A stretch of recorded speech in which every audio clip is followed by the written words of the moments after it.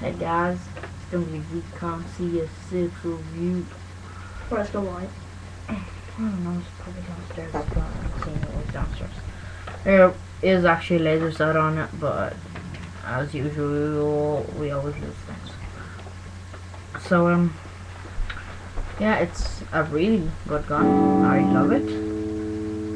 Um, yeah. Um, it, it holds, I think, eight bullets in a mag. This sight comes, I think, does it come with it? Or do you have to buy it separate? No, it comes with it. It comes with it, but it's probably the one of the most inaccurate and shittiest sights ever. So I am going to take it off. Like this. So um, yeah, this mag. You pull that back, you press this button, and the mag comes out. I think it holds eight bullets, and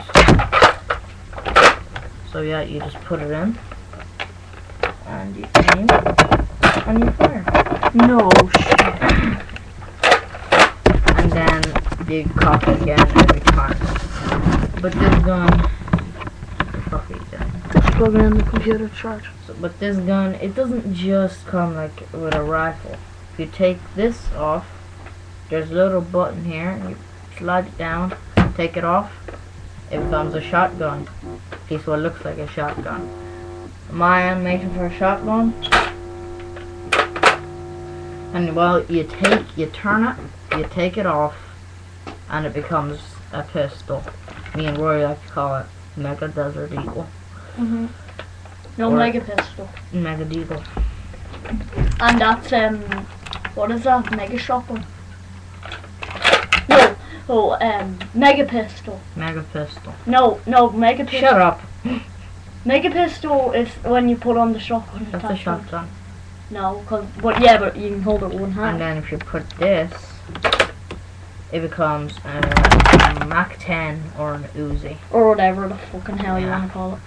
Some kind of weird, stupid SMG. So, um, yeah, it's a really good gun. And I'm going to, um, test fire it now. I think, uh, which attachment should I use? Don't get it on. I'll just use this shotgun attachment. So um, put this on. Put the bullet. These are the bullets you should use for this gun. Not saying you have to, just saying you should. They're the bullets that come with it. I'm only putting in one because I can only find one. So um, now I'm gonna aim this camera.